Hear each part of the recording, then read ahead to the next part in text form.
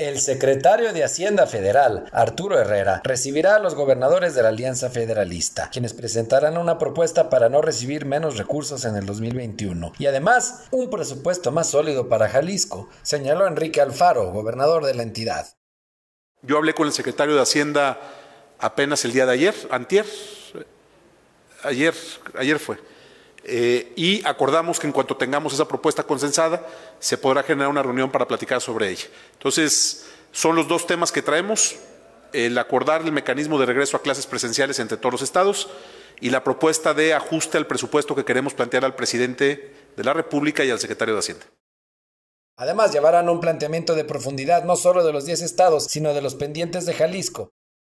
El presidente se comprometió delante de todos, ustedes lo oyeron, a resolver el pendiente del peribús, de mi macro periférico, que simplemente de este año nos deben 750 millones de pesos. Se comprometió que iba a quedar etiquetada para arrancar el año que entra la línea 4. Ustedes escucharon.